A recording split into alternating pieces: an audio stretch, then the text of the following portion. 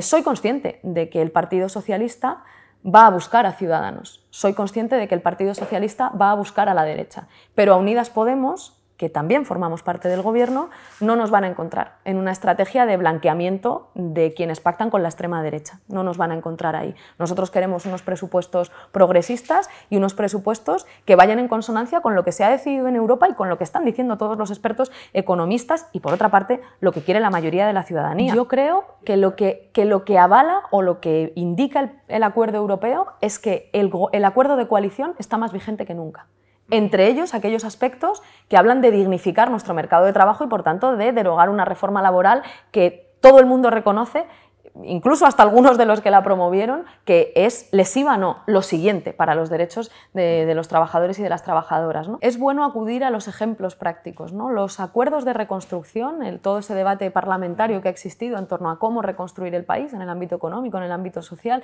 y finalmente la forma de construir las mayorías para aprobar las conclusiones de, de ese trabajo, demuestran que la geometría variable no funciona. La, idea de una geometría variable de, de pactos y de acuerdos no funciona.